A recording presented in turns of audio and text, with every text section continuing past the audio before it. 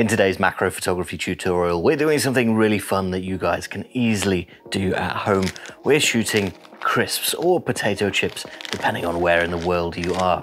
Stick around and I'll get started in just a sec.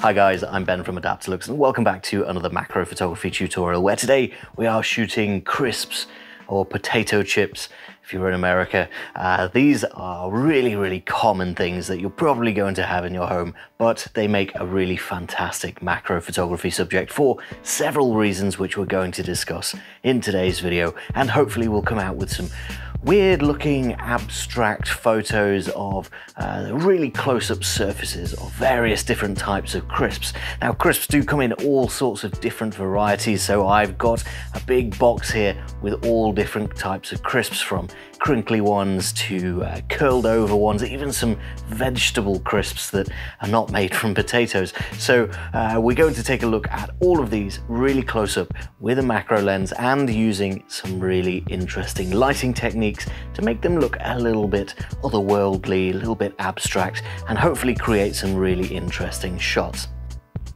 So we're not going to spend too long taking a look at all of these different types of crisps simply because there's well, too much variety here uh, to go over every single one, but also you could just go down to your local snack aisle and take a look for yourself what's available. The main thing that I'm looking at here is the variety of different shapes and sizes, colors and textures. So we've got lots of different varieties of crisps here. I got all of these from Aldi, so they're all Aldi own brand ones. We've got some uh, cheese curls here, which should be interesting. Um, not all of them are uh, potato potato chips, we've got some root vegetables with sea salt, and these are all different colors as well, so that's going to be really interesting. And then we've got different textures and uh, shapes of uh, crisps as well. So we've got some, some hoops, we've got some crinkly ones here, and we've got some uh, lattice uh, cheese and onion crisps, which are sure to be uh, quite interesting as well with a sort of cross-hatch texture on them and I'm sure they're all going to taste nice as well. I think this is a great thing to be doing over Christmas time maybe uh, so that you can have all of these little snacks slowly being uh, eaten away while you're doing your photography. Now that we've taken a look at this huge selection of crisps, it's time to take a closer look at the macro photography equipment that we're going to need to shoot them. I'm shooting all of this on top of a table right here at home. So this is definitely something that you can repeat in your own home, maybe on a tabletop or maybe with your own macro photography setup. We don't need anything specific in terms of lenses or cameras. You can do this with a lot of different types of uh, macro equipment. The one thing that we do have in common is that we're going to need some lighting and we're going to need to get really close up to these crisps. First things first, let's talk about our camera and lens. Now I know that I've just said that it's not particularly important what camera you use or what lens you use, but it is important to get up close and that means a macro lens. This is a Tokina 100mm f2.8 macro lens fitted to a Sony a7 III and that is getting me really, really close up to the surface of my crisp. You can see my crisp just over here being held in place. Um, we'll come to that in just a moment, but being able to get nice and close up to the surface of the crisp is really important just to get all of that detail and you can see here that I've actually got a really low angle across the surface which really accentuates that uh, shallow depth of field caused by the macro lens. Now, if you want to eliminate that depth of field, you can try focus stacking, which is what this rail here is for. Um, you can move your camera through your image, taking shots as you go and stack them all later to get an image that is completely uh, in focus. We might try some of that with our crisps, or they might look uh, nice and abstract just on their own. But either way, I'm going to be shooting on a tripod using my macro rail just in case. That also means that I need to keep all my, um, my subjects, my crisps steady and my background as well. That's where the macro subject holder comes in. This thing has flexible crocodile clips to hold everything in place. You can see that one is holding my crisps just here and then we've got two more holding the background in place. Now I do have lots of these background gradient cards, uh, all in different colors so I can switch out the background to suit the kind of image that I want to go for. If I need a bigger background, I do also have them in uh, A4, so we've got A4 and A3 sizes to choose from, which should be more than enough to get a nice variety of backgrounds to match the variety of our crisps. So let me talk to you a little bit about our lighting today. Uh, the lighting is going to be a really important factor in getting our crisps to look a little bit different, a little bit more interesting, and not like the crisps that you've obviously seen before. Uh, we're going to be using the Adaptalux Studio macro lighting system. This is a, a, modular system that allows you to add lights and move your lights exactly where you need them to be. And being able to move lights is really important for macro photography in general, but particularly for something like this, where the placement of the light is going to be really important for the final shot. So this is the uh, control pod, which houses all of the batteries, power control uh, for our lighting. And you can see that there's five ports in the front here, which means we can have five lights going at once, which is going to be really nice for our crisps. Into these ports, plug lighting arms. These are flexible, long light sticks. So we've got uh, bendy gooseneck all the way along the arm and a nice bright light at the end. There's adjustable beam angle control on the end here as well. And if we want some diffusion, it's just a matter of magnetizing it onto the end of the arm.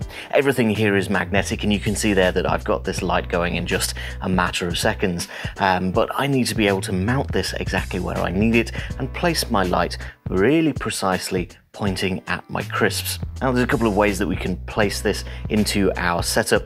Uh, first of all, we can put it on top of the hot shoe, so this just slides on and then you can have your uh, lighting supported by the camera, but you can also place it down on a tripod. And I think that's the way that I'm going to shoot today because I want the, uh, the ability to move my lighting around my subject, maybe bring it in from the back of the crisps, backlight them a little bit, or uh, have one from one side and one from another. So fixing my lighting to my camera would restrict me a little bit there. So I'm going to be uh, shooting with my camera and then my lighting separately. Having my lighting off camera on a little mini tripod just here gives me a lot of placement options on where my light is going to be pointing. You can see here that I've got one of my uh, root vegetable crisps out now and it's a really strange shaped crisp. It's really long and all curled over, probably because it's a vegetable and not uh, potato. Uh, so it's going to be a really interesting um, shot. Uh, but I think what makes this more interesting than the others is because we're lighting it from underneath. Uh, you can see that that white lighting arm there is actually shining up and through the crisp. So having light and the ability to place the light uh, exactly where we want it to be is really important for getting strange abstract shots of our crisps like this one. Uh, so I'm actually looking down the length of this crisp with light uh, glowing from inside the crisp. Um, now that does leave me with a little bit less light than usual because the crisp is taking a lot of it away, but that glow from the inside just supplemented by a nice diffused light source on the top here uh, to add a little bit of extra color and um, light onto the edges at the top here. Um, that looks really, really cool. So having my light off camera and being able to move it around and place it exactly where I need it is really, really useful for this type of subject that requires a lot of experimentation. One of the most interesting things I'm finding with this shoot is just the sheer variety of different uh, photographs that you can get from crisps. Uh, there's a huge variety of different crisps, obviously, uh, but you really don't think about that uh, difference in how these things are made until you're getting up close and really finding all of the differences uh, in the camera. For example, we've got uh, these these cheese curls, are obviously curled over, and these root vegetables are different colors, different textures, and also a little bit curly, a little bit more angled than some of the others. Um, but there's also all of those coatings as well, all of the flavors that go into these crisps. All of those look slightly different when you get really up close. Some of them have larger pieces of salt on them, some of them uh, don't have any salt at all, some of them have strange colors. Uh, there's a lot to explore, especially if you do, do manage to get a nice variety of crisps crisps, and it's also a nice cheap macro subject. You can go into your supermarket and grab just a few small bags. You don't need a huge amount of uh, the actual crisps.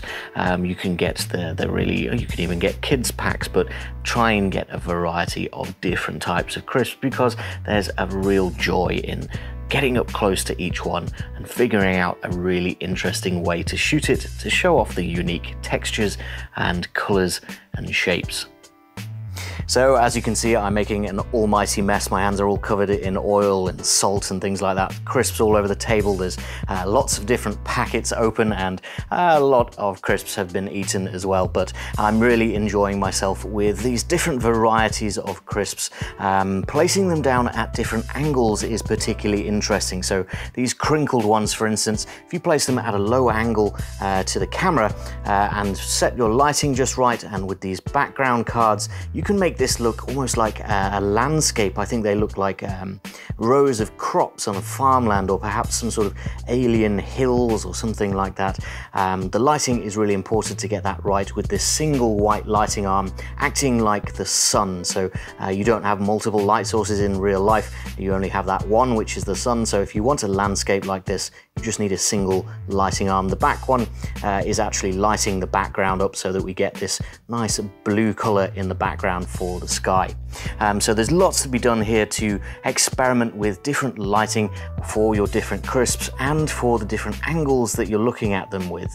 That really is helped by the, uh, the macro subject holder here as well. Um, well, it's a little bit strong sometimes. You can see that it's uh, sort of crunched a few of my crisps. Um, but it does hold these nicely in place and then you can manipulate those arms to find the exact angle that you're looking for. I think it's fair to say that crisps are not the most obvious and forthcoming macro subject, um, but it's definitely something that most people will have in their homes or at least have easy access to, and it turns out they do make really interesting macro subjects. It's something that's uh, got a lot of variety, uh, it's nice and cheap and accessible, so it's definitely something that you can follow along with at home, and I have had a lot of fun shooting these, especially with that variety of the different types of crisps available. There's really endless types of um, abstract abstract shots that you can get from them, exploring all of those curves, the different textures and colors uh, is really fun in macro. And this is a fun shoot to do if you've got people around as well, maybe a partner or some kids, because um, unlike most of the time with our macro photography, I think they'll be more than happy to help you tidy up and maybe get some tasty treats along the way. I'd like to know from you guys whether or not you enjoyed uh, this shoot and my photographs, whether you do anything differently, and do make sure to hit the subscribe button so that you're here for more macro photography tutorials, ideas, and inspiration coming in the future. For now, that is all that I've got time for. Thank you very much for watching, and I'll see you next time.